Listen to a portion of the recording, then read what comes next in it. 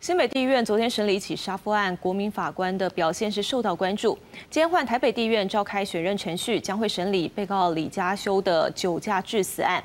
通知百人到庭，实际是来了六十二人。部分到场的素人参审的意愿不高，有些人还担心说开庭审理会看见刺激性的证据。而台北地院就跟临床心理师工会合作，在宣判后协助减压疏解程序。法院人员提前动员，陆续迎接民众到来参加海选，还是也可以来看看啊，蛮新鲜的。其实没有很想参加，就是还是照义务来。这回换到台北地院有国民法官案件将近审理程序，事前通知一百零四位素人到庭，十九号来了六十二位，从中挑六人当国民法官，四位备位国民法官，跟职业法官共同审理去年十一月发生的这起案件。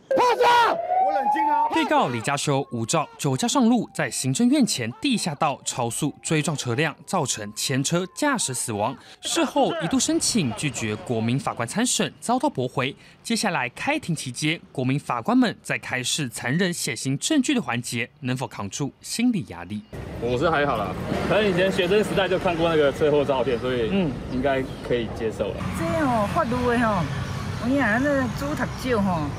无法度啦，干掉的时阵，那个文幕文幕出来，莫遐认真看咯。到场的素人们立场不尽相同。从新北地院初登场的国民法官来看，这星期接连两天审理一起家暴杀夫案，有人在庭上提问内容有别职业法官，也有人语义表达不清，让被告与证人一时无法理解问题，还有人见到命案照片，顿时眉头一皱。本院特别组成临床心理师工会国民法官心理支持小组，在本案宣判后，由临床心理师到国民法官休息室进行国民法官支持减压团体活动。就怕国民法官心理受冲击，在宣判后，台北地院找来临床心理师协助减压。